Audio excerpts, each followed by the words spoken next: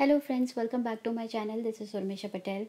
This video is in the continuation of list methods that we were discussing in Python for Beginner series. So let's continue that. So we have come up to the end of this uh, list method uh, where uh, we are left with these two methods that is the count and index. So we'll see in, de in depth like what exactly it is and how you can use it and for what reason. So this is my list um, numbers which has a few uh, numbers in it. And you can see there are a lot of duplicates like 5 is coming twice uh, even 20 coming as twice. So uh, using this method how uh, and what difference will make we'll see that. So let's say I want to count that how many time the occurrence of uh, number 5 is there or the element 5 will is there in this list. So you can check with the um, method called count. So let's see how you can use it. So first run this list now. To use this, we'll call this list numbers and then using the dot operator, we'll call this method count and in that we'll pass what particular uh, element that you want to see that it's occurrence. So here we want to check for number 5. So I'll call this 5 and then uh, I'll on the next line I'll pass this number. So we'll see uh, what exactly uh, it will come up with. Um, or let's say not to show here it's fine. We, we don't need it this. And let's run this. And you will see 5 is coming at 2 times which means it says that element which is you are asking for 5 is coming its occurrence is actually 2 times here in this list. So let's say if you want to check for an another one um, let's say numbers and here you want to check for uh, 100 so if I want to check for the 100 uh, you can see that it's coming only one time. So the expected value should be here one only. Let's run this again.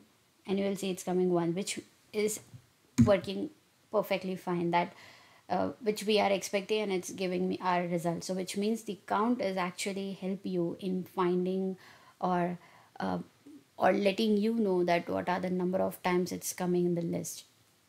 So this is about the count. Now let's say you want to check for a particular position of that number. So let's say i want to check for uh, this 30th so what is the position in this list? So for that you have to call this numbers and then right here index. And in that index pass that particular value. So here i want to check for uh, 30th right? So let's just pass here 30 and then run the cell. It will give you 2 which means this is the zeroth position second position uh, sorry first position so zeroth first and second. So that's how you are giving and getting an index in the result as 2 so 30 which is the correct. Just be clear that if it is uh, as we have this 5 uh, uh, coming twice here in this list. So index will always give you whatever the first occurrence position is here. So let's say you want to check for the numbers dot index and want to check for 5 which is coming twice but it will only give the position of that element 5 which is coming at the first. So here um, ideally it is coming next to 30 which means this position 0 uh, 10 is coming at 0th position then 20 at the first uh, 30 at the second and this fifth the first fifth is coming at the fourth seventh as in uh, 5 uh, okay.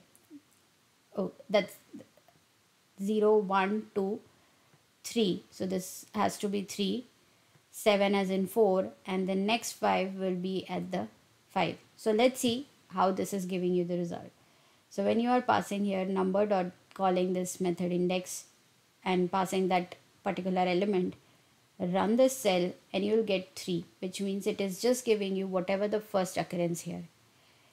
It will not show the second in, uh, occurrence, what is the position. So that is all about count and the index. Usually uh, we use this count index multiple times uh, while doing the data manipulation in our data science work.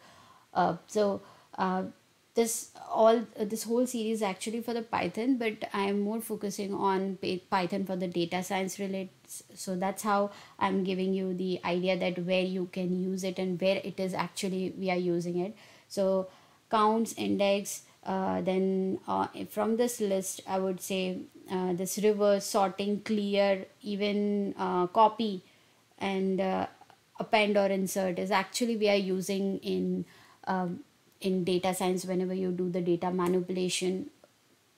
So this is most important. That's why i have focused and give you uh, time for this whole methods and deep dive. We have deep dive into it with an example and clear understanding of it with the results and all. I hope you like this video. If you really like then do like share and subscribe to my channel till then happy learning. I'll see you in the next one with the tuples